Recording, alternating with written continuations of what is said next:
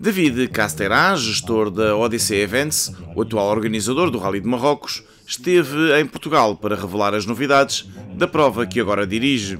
A intenção é renovar o conceito e fazer uma prova mais pequena, mas com todas as comodidades e acessibilidades para que os pilotos possam viver uma aventura única. L'innovation de ce rallye, c'est la séparation des parcours, effectivement.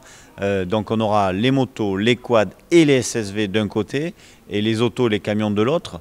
Donc euh, ils vont jamais se mélanger, jamais se faire se doubler les uns avec les autres. Donc c'est vrai que c'est de la sécurité, mais c'est surtout du confort et du plaisir. Le plaisir de la conduite sans se dire qui va arriver derrière, je vais me faire doubler par une auto, un camion. Non, ils vont faire leur course tranquillement et c'est la plus grosse innovation de cette édition.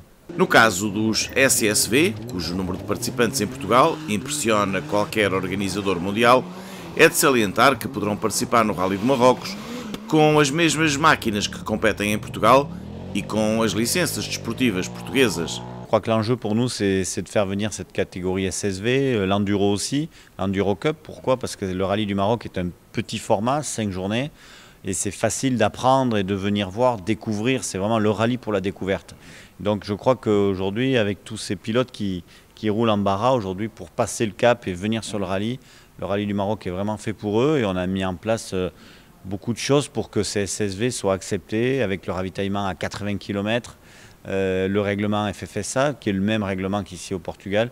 Donc euh, tout est réuni pour que les Portugais, tous ces compétiteurs puissent venir sur le rallye.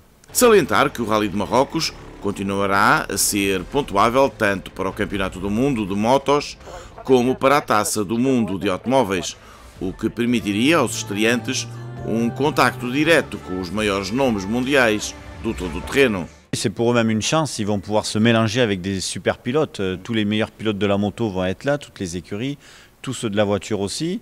Ils seront aussi en pré-test pour aller sur le Dakar. Donc, euh, donc ces gens-là vont apprendre encore plus en étant mélangés avec toutes ces vedettes. David Casterá, que participou nas primeiras edições da Baja de Porto Alegre e em muitos outros eventos, continua a ver Portugal como um país ímpar ao nível dos desportos motorizados. Mais revenir aujourd'hui, 30 ans après ma première fois, c'est rigolo sur une épreuve. Je, ben, je repars un peu comme j'étais venu à 30 ans, c'est dire que c'est vraiment un pays de sport mécanique.